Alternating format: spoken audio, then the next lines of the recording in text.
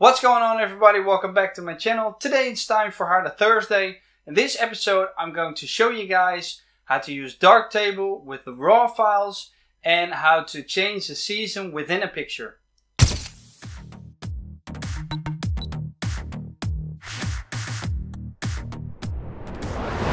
Before we start, let me explain. You've got JPEG, which is the most common used file format, and then you have RAW, which is a little bit more uncommon, but RAW files lets you edit your pictures way better because it preserves a lot more detail that you can basically use while doing your edit in Lightroom or in this case in Darktable. So that means you can enhance it a little bit better and the end result will be better than the end result generated from the camera in a JPEG file. So let's go to the computer and show you guys what I mean. What you first need to do before we can start is download yourself Darktable. You can find it on the website which is www.darktable.org and then you choose how to install it on your system. You choose your operating system which for the most of us will be Windows and then you download the latest Windows installer for Darktable. Uh, run the installer install it anywhere you like and then when that's done you move over to your file uh, you see four files over here or basically these are six but these two are project files so these two are JPEGs and these two are uh, RAW files this one's from Nikon, which you can't open with uh, Windows Photos because it's a .nef. And this one is a .cr2. So what you need to do is right mouse button, open with, and then Darktable.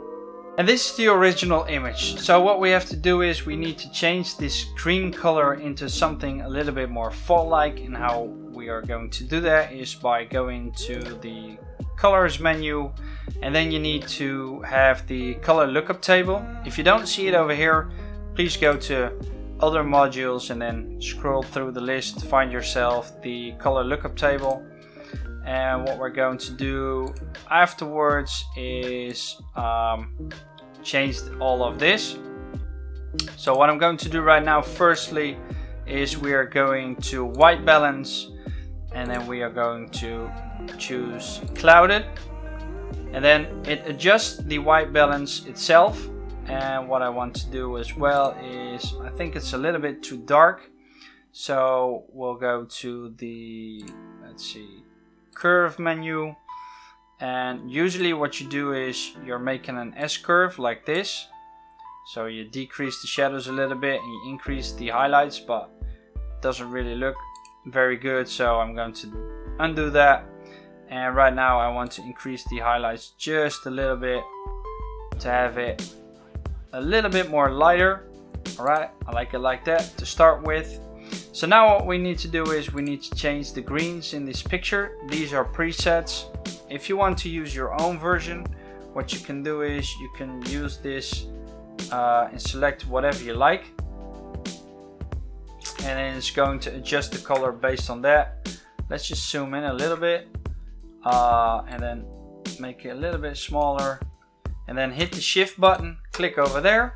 And now if you switch this to let's say a little bit more reddish this is too much. There we go. It's going to change everything in this picture that has this color of green in it. I don't really like how this looks so I'm going to delete this layer with right mouse button. And now it's gone. It's going back to the original state. And I'm going to use the preset green because I think it resembles the green that's inside this picture and what we're going to do now is we're going to make this a little bit more red maybe 11 increase the saturation a little bit. There we go. Sometimes it takes a little while because uh, it's heavy on the computer and it's a heavy program. But once it works it's pretty fine. Now it's a little bit too yellow for me so I'm going to decrease the saturation and what you need to do right now is every time you adjust something something else gets adjusted as well so you have to find a nice balance for the colors and everything um, I think 18 is still a little bit too much 15 is a little bit better I want to decrease the yellows a little bit. There we go. Now it looks a little bit more fall-like because this is the original image. Now it looks a little bit more like this. Um, and what we're going to do right now is we are going to adjust the sky a little bit, make it a little bit more blue. So we're going to use this, go over there, and then it selects the gray. And then I'm going to turn it into a little bit more blue-like. There we go. And this completely changes how the image looks and how you interpret the image. Uh, and now what we need to do is we need to add some contrast and work with the midtones a little bit. So this is the curve menu. You need the local contrast, it's in the same menu. If you don't see it, please go to other modules, scroll through them and then pick it and then it, it'll turn up over here. And now what we're going to do is we're going to bring the detail level up to about 182. There we go. And now everything pops a little bit more. Uh, you can see the detail very nicely. Uh, I like it like that. It's, uh, it's a certain filter-like image that it creates. I'm going to preserve the highlights by taking them down to about 80, 79, 80%, 79. And as you can see, the sky has just switched a little bit. Look, if I increase it, the sky becomes a lot brighter. And now I'm going to decrease it and the sky becomes a little bit darker. Please wait for the image to load completely. It said loading over here uh, before you make any further adjustments. And I'm going to change the midtone area to about 250, 0 0.250 to make that pop a little bit more as well. Um, I like it like this. This gives it a, more, a nice fall-like feeling. Uh, this is a summer-like feeling. Uh, the image takes a little bit too low, but here we go. This is the original image. It's the raw file, or it's a JPEG file, I'm sorry.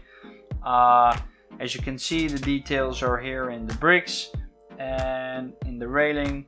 And then the water is nice and detailed because I shot this in a high shutter speed so there's no uh, motion blur or whatever.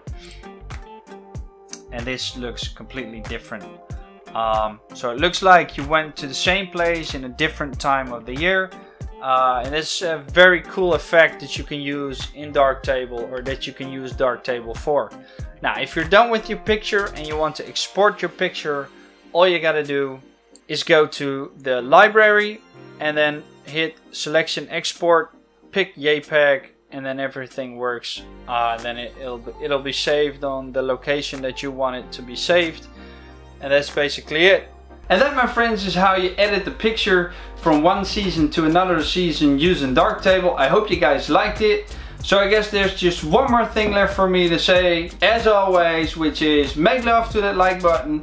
Consider subscribing if you like what you saw. Hit the bell button to be the first to be notified when I drop a new video. And until next time, doei!